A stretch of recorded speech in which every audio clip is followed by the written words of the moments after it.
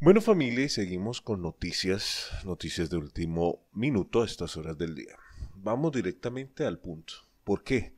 ¿Ustedes se acuerdan de esa canción que decía, esas son puras mentiras? ¿Sí? Eso mismo pasa con los cuentos y las historias del dicta Miraflores. Y obviamente yo les digo algo, ¿no? Cualquier persona que llegue, y escúchenme bien, que llegue al país, como lo fueron este grupo de personas que han llegado a diferentes partes de la serie del Caribe, en este gran estadio que hizo el régimen del dicta, que ojo, el detalle no es que lo haya hecho o que haya podido usar uno que ya estaba ahí, solo mejorarlo. El detalle no es la diversión que se da en torno a esto, a pesar de que la diversión se usa para distraer de las situaciones que realmente suceden en Venezuela, y no me van a, contar que esto no es así, porque esto no, esto no es nuevo.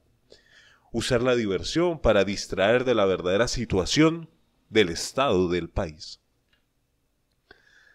Llegan de diferentes partes mexicanos, eh, de diferentes partes. Salen en las redes, salen en el jacuzzi, diciendo que no se imaginaban ver a Venezuela de esta manera, que de verdad lo que habían escuchado en sus televisoras no era así, que están sorprendidos, que no, que eso era una maravilla. Era una maravilla tanto así que hace unos días la luz se fue en pleno partido. Pero no estaban escanos ahí, no habían llegado. Habían otro grupo de personas. Entonces, Aquí yo les digo, les explico. Entonces, ¿por qué salen diciendo esto estos señores? Y yo les voy a decir, aquí hay dos opciones. Vamos a hablar claro, ¿sí? Eh, invitados por el régimen del dicta, pagados por el régimen del dicta. Dos, y Tú que todo lo sabes, tú que todo lo comentas, me lo dejas en tus comentarios. ¿Cuál de las dos crees que hayan llegado normalmente de visita? Pero así como en Cuba, le mostraron solamente la parte bonita. La parte en la cual le mostraron las Mercedes. Ya, ¿sí? Para resumir la historia. Le mostraron el estadio y le mostraron solo ciertos puntos que lo manejan los enchufados y los testas del dicta Miraflores. Y como vienen con dólares, obviamente se alojan en lugares donde son manejados por el régimen, por los testas, por los enchufados, por los únicos que el dicta eh, les paga bien, para mantener una apariencia.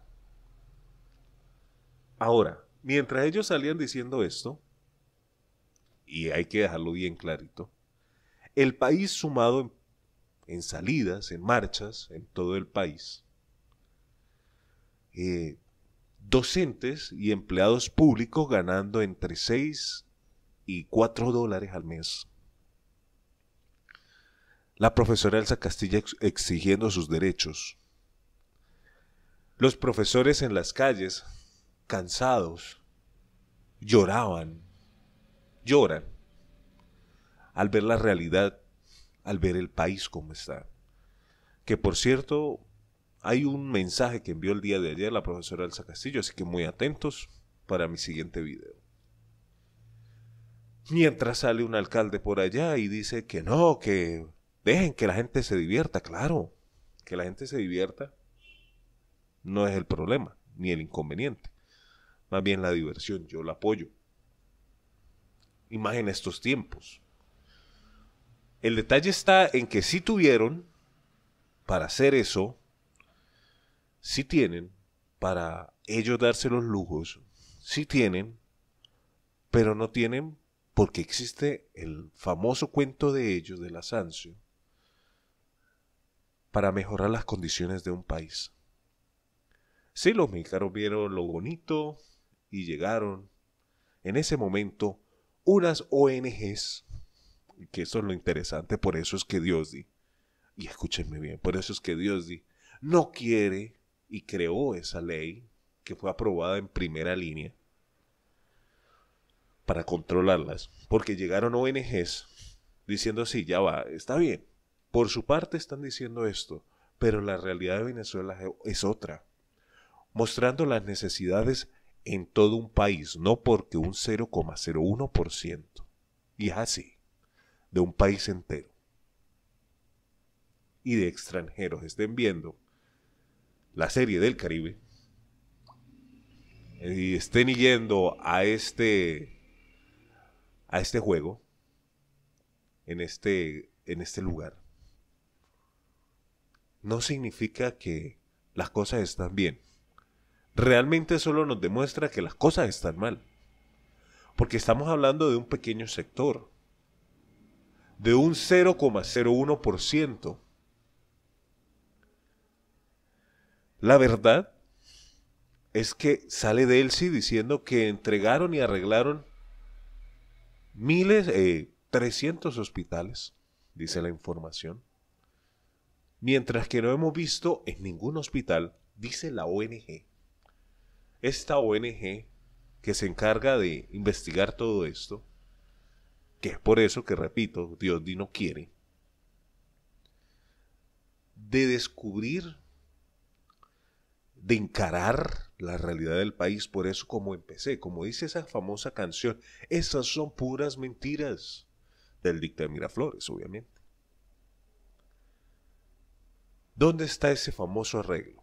¿O dónde está lo que hicieron? Esa es la cuestión. Esa es la pregunta. Ah, pero sí tienen para traer personas que digan no, que las cosas están bien, que todo mejoró, mientras el país está como está. Pero eso es noticia, eso es información y eso te lo quería compartir a estas horas del día. Gracias por llegar hasta este punto, compartir, multiplicar y extender. Me ayudas con un me gusta, me ayudas activando la campanita, estando pendiente de todas las notificaciones que te enviamos todo el día con nuevas noticias en cada momento. Dice la el comentario de hoy, la frase motivadora, el mensaje que yo te envío, no te compares con otra persona. Compite sí, pero contra tu propio potencial. Esto, esto lo hemos visto muchas veces, incluso tendríamos recuerdos de cuando éramos más pequeños. De, no, mira que fulani, que tal persona es, es mejor y tienes que ser mejor que esa persona. No, ya va. Aprendamos a hacer las cosas. La mejor competencia y la competencia más sana es cuando la haces contigo mismo, contigo misma en tus propias reglas, con tu propio entorno. Tú contigo. Sí, tú contigo. Mostrando si hoy de un... en el ejemplo simple de entrenar en un gimnasio, hoy hice 15 repeticiones. La otra semana haré 18 repeticiones. La que sigue haré 20 repeticiones. Así es en la vida. Compites contigo mismo, contigo misma. Hoy doy la milla extra, mañana doy dos millas extras, pasado más, y vas con tu propio potencial mejorándolo y aumentándolo. Ese es mi mensaje. Gracias por compartir, multiplicar, extender. Un abrazo y hasta una próxima.